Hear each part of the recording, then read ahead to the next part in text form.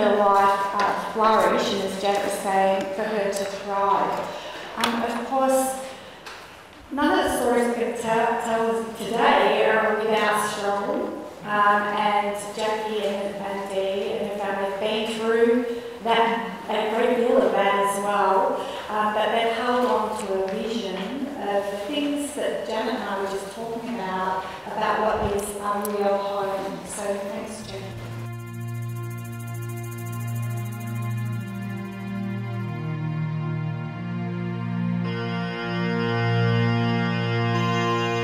Deb said, uh, our daughter's name is Deearne, but we call her Dee for short.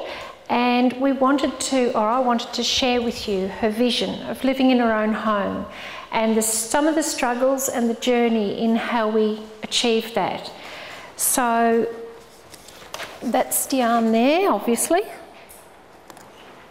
Okay, about eight years ago, she, uh, I'm just trying to describe her life then, and what it consisted of is going to a day service five days a week, so it was full time.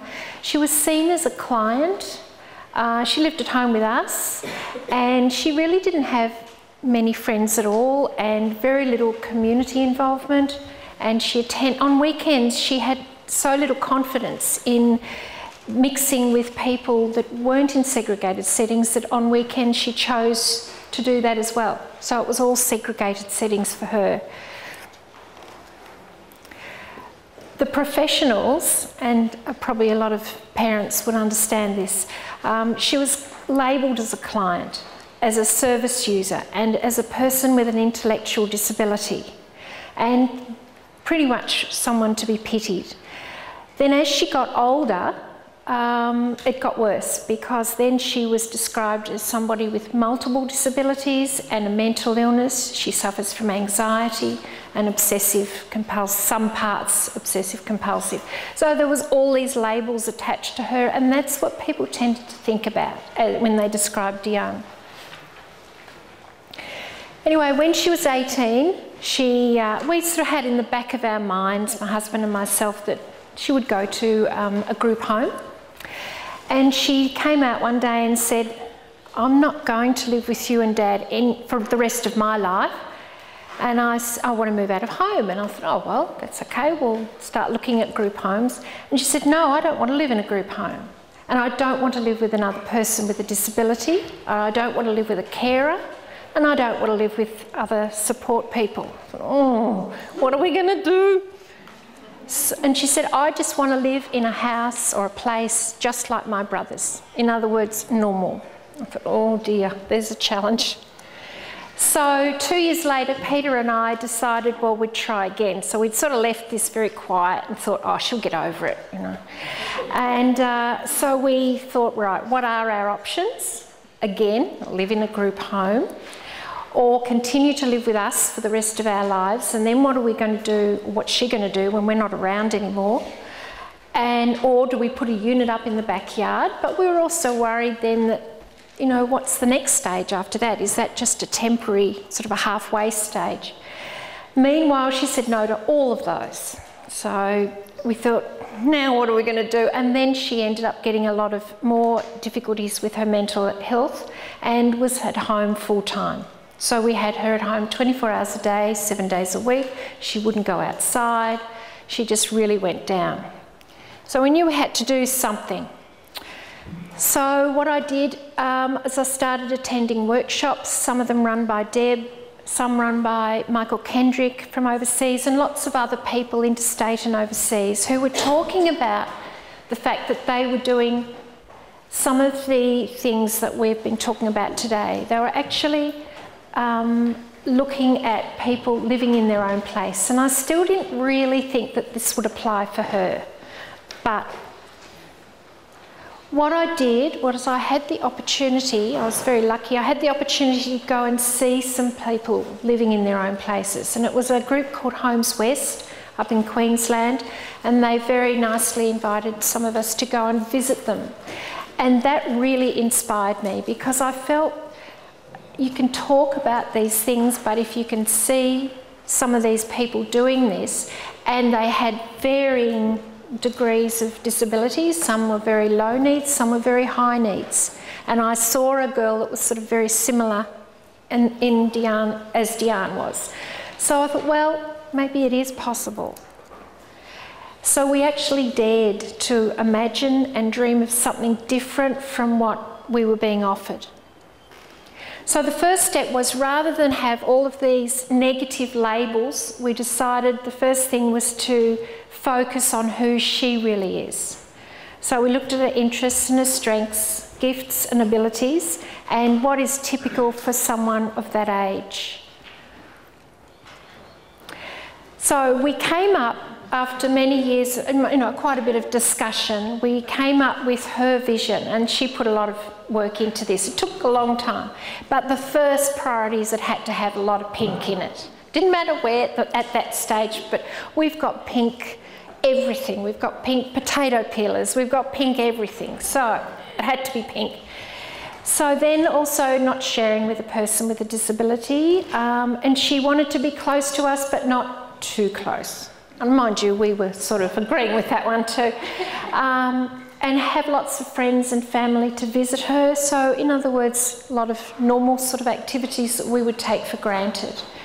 Uh, living in a local community because we're fortunate enough to be close to a community where it has lots of shops and lots of friendly, fairly friendly people that she got to know. Um, so rather than moving her somewhere else, and find meaningful work and have her dog at her flat. Mind you, she doesn't, she only cuddles it. She doesn't do any of the other stuff, but never mind. Um, so the first thing we had to think about was the location. We decided we had to have it somewhere that was close to where she already knew the, the community. Because it's one thing to have a fantastic place to live, but it's isolated from where she knows those people, that wouldn't do for her because she's a very social person. And then it was, well, do we rent or do we buy?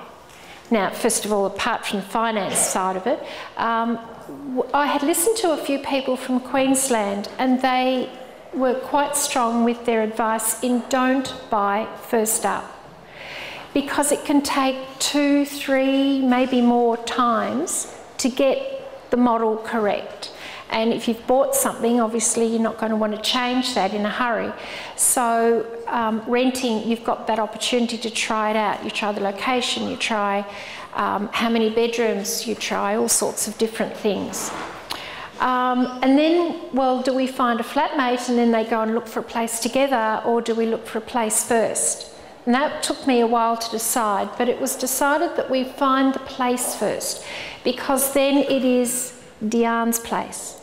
And then when we find a flatmate, they move in and share with her, but she has that ownership, even though it was rented, but she has that ownership of that place.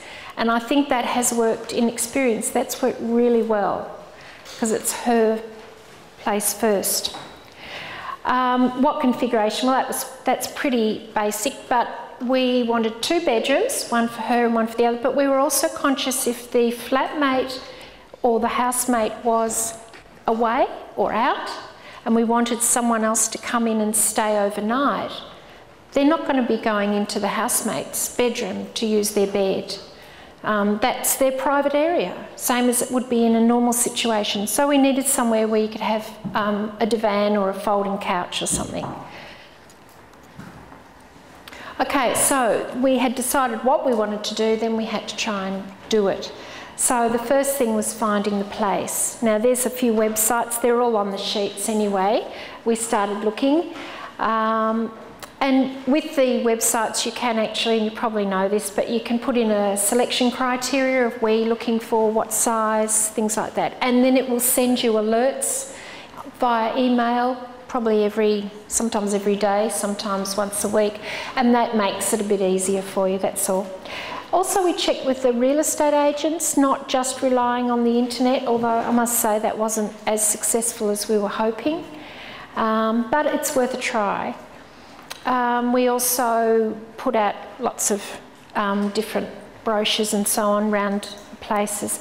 Um, now, with the inspection, that was something that was a real learning curve for me because I've rented for years, but that was, you know, many, many years ago. And I didn't realise that it, when you go and find, you know, you find a place and you think, right, I'm going to go and have a look at that. Years ago, we used to just go and collect a key from the real estate agent, have a look at it, and drop the key back. It's totally different now. You have a 15 minute window of inspection time that you can see this place. You've got to be a bit organised. And also, you, uh, what I found was that you download the application form prior to going and seeing it, fill it in, and take it with you. Get there really early because it's first in, first serve, and you hand the application form to the real estate agent as soon as you walk in the door. Now, that sounds stupid, I know. But you look around, if you decide you don't like it, you ask for your form back.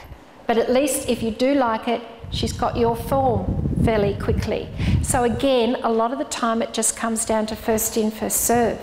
Then the lease document itself, once, you've just, once you have been given a place, it is a good idea to, you have to put, obviously, well, we put hus my husband's name on it because he's the one that was earning the income, so they have to assess all of that. But we also put Deearne's name on it, and that then enables her to get some credit rating down the track so that if we need to do apply for something, we've at least got some sort of rating. And once you've done that and it's all signed off, then you take it to Centrelink and then they will maybe, you know, you can apply for rental assistance, but they won't look at that until you have it signed off by both parties. So we'd found the place, we'd got it signed, we got the lease done, and everything was great and it was all pink.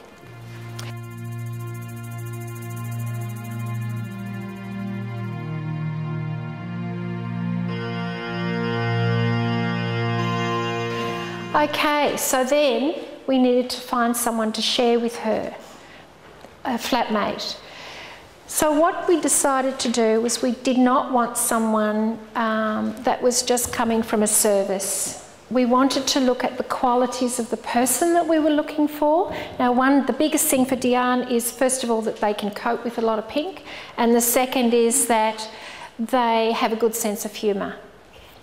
Um, apart from that, not a disability, supportive and understanding, caring, able to build on her strengths and uh, encourage in good communication. So we're looking at the type of person, not the qualifications. Because when we go, when, when I would, was going and looking at a place, I wouldn't go and look at what they did for a job. I'd be looking at what sort of person they were. Um, the big, then we looked at the roles that we were going to ask of that flatmate. So we're asking for some support. So we, we wanted them to do with Deearne, not for, because Deearne is very good at sitting down and not doing too much. She's very clever in some of those ways. So we wanted that encouragement that they would do it with her. Um, companionship, like other flatmates have companionship and they might just watch a DVD together or something like that. Uh, encouragement with healthy food, uh, supportive and understanding. And the main thing we wanted was for them to be able to commit to staying on the nights that Deearne is in the flat and also cooking the dinner for her or getting her to help cook dinner. She's quite capable of doing the breakfast and lunch. She can zap something in the microwave or something, but the dinner is a lot more difficult. Um, and to be there overnight and to have some sort of relationship with Deearne. Okay, so we had the personality and we had what we were asking them to do. Oh, there were other things like we were going to ask them to help with housekeeping and so on. Help, not do. Um, so then we needed to find a flatmate. So we advertised again on those websites. Um, but the most successful one we have had, us and a lot of other families that I'm involved with, is Gumtree. Gumtree is a free service and you can, a lot of young people use Gumtree. And so we found a lot of support people and flatmates from there. Deearne also went around and put a whole lot of notices up on community centres, shops, universities, so that was a good thing for her to do as well. Okay, we found some people to interview. So then it was a matter of screening. We actually asked Jo Walters from Living Distinctive Lives. She will be talking about that later. It's a group, family governed group. Um, to screen them first, but I guess as a family member you could do that. And screen them on the phone and email before you actually meet up with them, and that's important. Um, and then the next step was the interview, but we didn't involve Deearne at that stage because of security reasons. You know, we just safeguards. We just wanted to make sure that we were happy with them first before we put Deearne through that. She also used to get very anxious about it, so it's better to at least get part of it done. And then the reference checks, and then the next one we would get Deearne involved. And after that, if it's still, because she was fairly definitely that she didn't like them, or she did love, she loved them, or she didn't want them. Um, and so then from there, we um, had a couple of, they'd have coffee together a few times and so on, and then we'd, we'd start. Okay, so once we have, we've got the person, we then have a written agreement. And we wanted to put in there about the aims. In other words, we don't want it to be run like a group home. We wanted it to be like a home that we would live in. Um, the roles and the responsibilities, I've sort of gone through that anyway, and we offer them reduced rent in return for a number of hours of that support. You know, being there at night and being there at dinner time and cooking the dinner, helping with the washing, helping with all sorts of uh, things, doing the shopping with her and so on. So there's quite a bit in that, but they can still be running, you know, working in a normal position themselves during the day. It's really only the night time. So the additional costs of utilities are all shared between them. Uh, it's important to have a trial period. Doesn't always work, so you need to have that out. And we usually make it a month. Um, and notice on either party might want to leave, so you need to put that into the agreement as to what the notice is that's required. Emergency numbers, we always just have that in the flat so that if something happened to D, they can look in the book and vice versa. So that we've got some just a safeguard, and it's important that both parties sign it so that it is a proper document. Okay, um, once the, the flatmate's in, we then uh, like to set up a situation where you've got su some support for the flatmate. Because if you, if you think this is a person maybe that doesn't have the experience necessarily with disabilities, um, so they're coming in and there's going to be a lot of learning for them as well as Deearne and us.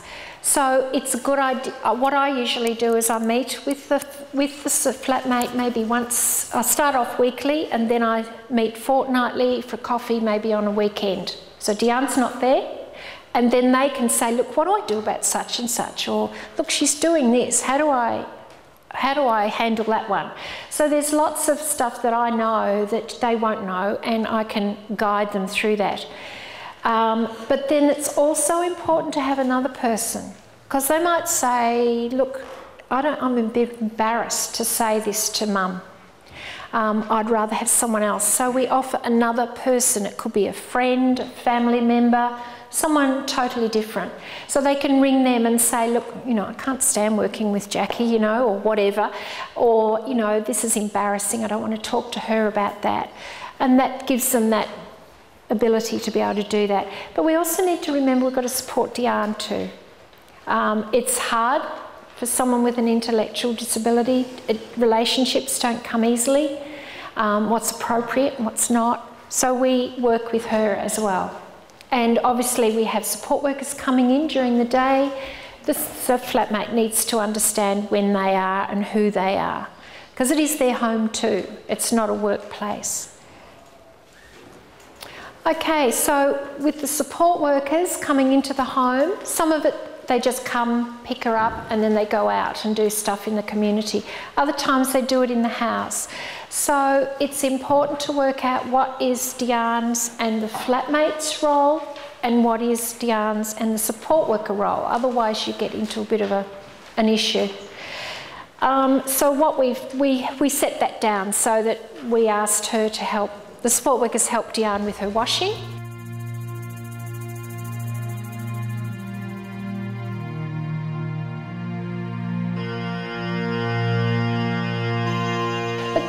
Thing that I wanted to say there is really the importance we find what works better, and we've had both. We had a, a flatmate just recently who was a support worker and worked in the industry.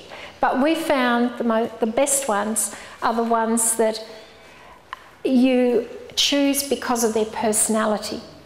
And sometimes it's an advantage they don't have that experience in disability because they come with certain ideas, they come maybe doing it a different way from what you want. So you're able to, if you've got the right person, you can then train or help them to work in the way you want them to work. Um, and that goes for support workers as well, but not quite so much. Um, the other thing I found as a mother was I had to keep telling myself, whose home is this? It's not mine. It's actually Deearne's and the flatmates. And I found that really difficult. I'd walk in and I'd see this big mess in the lounge room, and I'm saying, "Come on, Deearne, come on, you've got to clean this up," you know, all this sort of stuff. And I just, I had to really take a step back and think, well, my standards may not be the same as hers. Well, they aren't. And uh, certain flatmates have good stand, high standards in cleanliness, and certain ones don't. But I have to live with that. So we have uh, our money, Deearne's money, hosted at an agency. And so the family role is we do the advertising and interviews, select the workers and the flatmates. We guide those support workers and flatmates, and we have team meetings. So all this is organised. Can everyone hear? Yeah. Um, and we forward on the timesheets to the host agency. So the host agency where the money sits is pretty much only the admin role, but the money goes from DHS to Melba, and then we take the responsibility as a family for all of the day to day stuff. But when it comes to paying the workers um, and any other invoices, Melba handle that for us and they pay them. And Melba is the legal employer of the support workers. So but they don't have anything much to do with them on a day-to-day basis. We do all that. So the support worker is employed by a post agency? Yes, legally. We choose them. But they are the legal employers. So that covers workers' comp, insurance, superannuation, so and so on. For a new support worker, do you advertise for them? We advertise, we, we interview, and we choose, and then a Melba person will sign them up and then we um, work with them on a day to day basis, and then after that, Melba pay for them.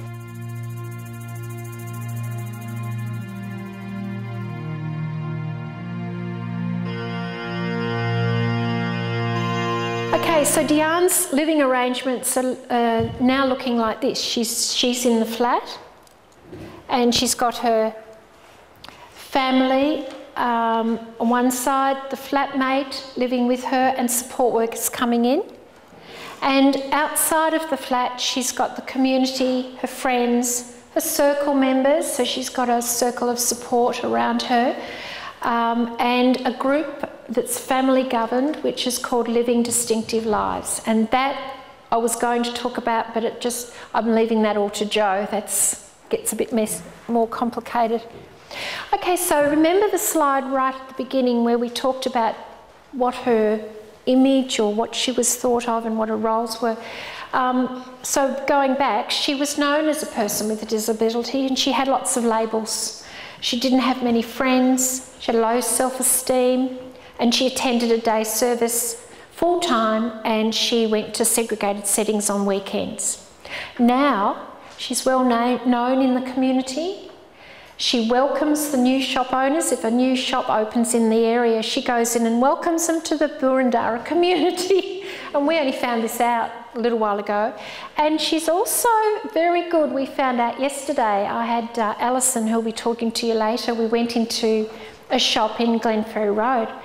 And she was talking to the hairdresser there, and she said, uh, When's your birthday? And he said, That's Saturday, isn't it? And she, he said, No, that was the 18th. And he said, she said, Something's coming up on Saturday. It's your anniversary.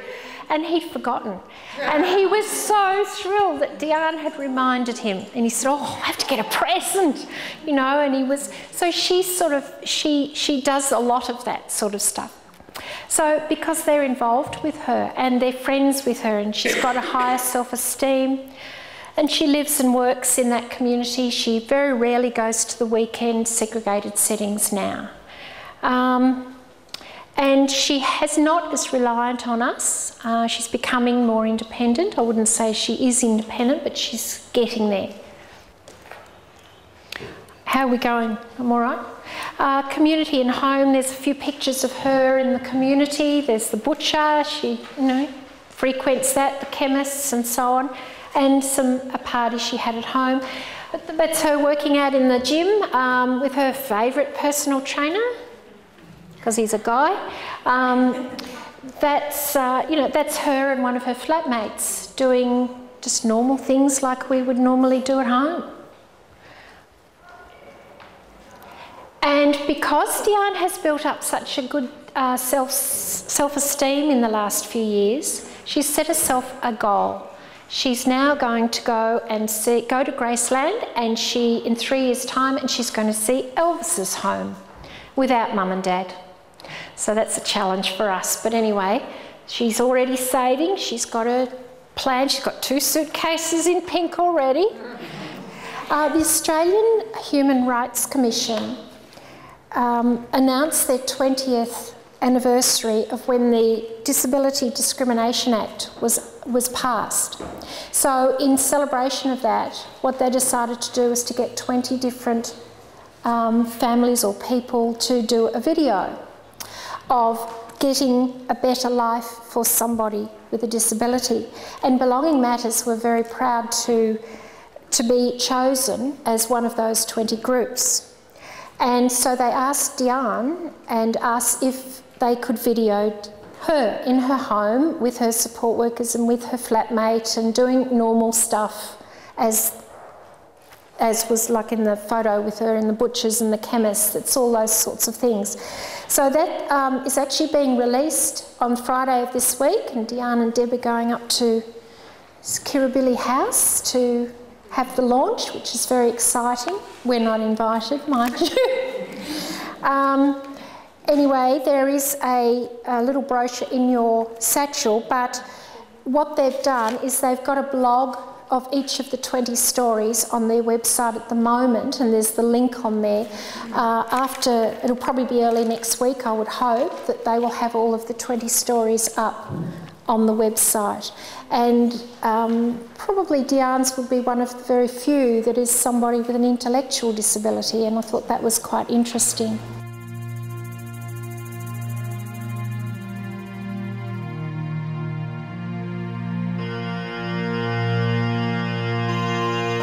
Jackie's conversation was very typical, wasn't it? Like, you know, when you want to find a place to live, you like go to a real estate agent.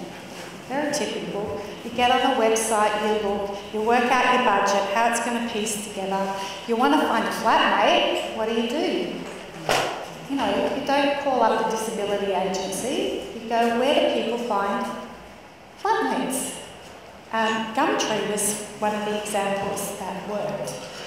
Um, now, Dee's, so it's very typical, and Dee's life in the community is very typical.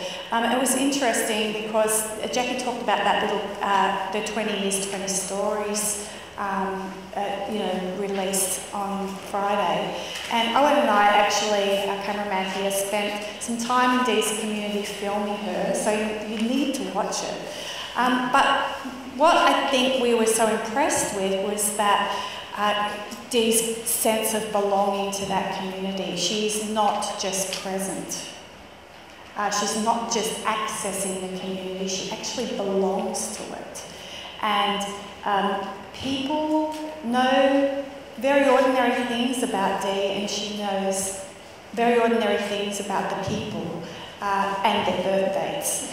Um, and it was quite amazing to watch that. But, um, you know, like it was, she's very, very connected. So this sense that, um, you know, and I think uh, Jackie and Peter was spot on that um, to try and sustain Dee in her community is very, very important because there's a whole host of safeguards. Um, now, Dee does have a number of needs. Um, she, we've talked about this a few times. You know, like um, Dee will need support always. Um, I'm sure Dee has become more independent in many things in her life because she's been, people have seen her potential and have encouraged her. But I think she will always, for the rest of her life, need support. Um, and so the sense, and that Sue, you were talking about, you know, what happens when we're no longer here, is a really important piece to work out. No matter what option, right, that you choose, this option or something else, is that, you know, like we were saying before, life is more than just a roof over your head. So families need to be thinking about who's going to watch out when we're no longer here and to try and build that up. So it, it, it's not easy and it's not a panacea, but um, my sense is uh, the other thing about these stories, it took a long time. Like Dee stayed one night at the start, and then two nights, and then three nights, and it's a gradual process. She still likes to stay at home. Um, and she enjoys that very much. And I know Jackie and I have had conversations about this. And um, if something happened to Jack and Peter, even though Dee's not there full time, if something happened to them, I don't think it'd be as big a leap to move into the flat full time as it would to move out of home into a whole new scenario. You know, so it's very careful thinking around Dee, uh, her preferences, her tastes, her pace, her routines. Um, and when you go to Dee's place, you actually, that's, you know you're in Dee's place. Uh, there's nothing in there that sort of looks like a program. Um, when I visit, I feel like I'm visiting Dee, uh, not a service.